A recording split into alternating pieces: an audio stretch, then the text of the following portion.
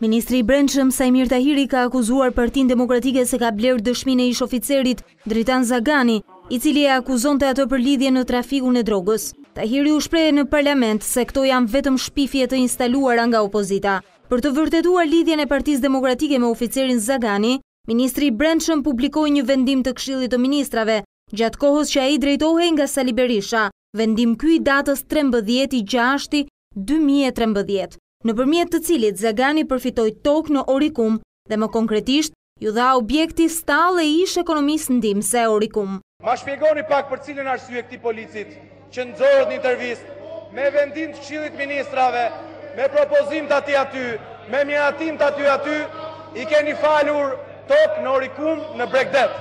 Ja ku e keni, vendim 500, 519.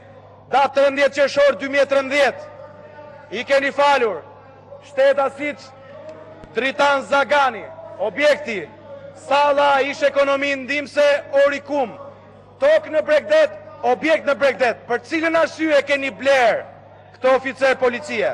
Ish-shefi i antidrogës, Dritan Zagani është në arrati. Ai akuzohet se ka bashkëpunuar me trafikantët, gjatë kohës kur ishte shef i antidrogës në Drejtorinë e Policisë së Fierit. Ministri Tahiri ftoi më herët opozitën të faktojë akuzat dhe të mos bëjë heronj të arratisur të drejtësisë.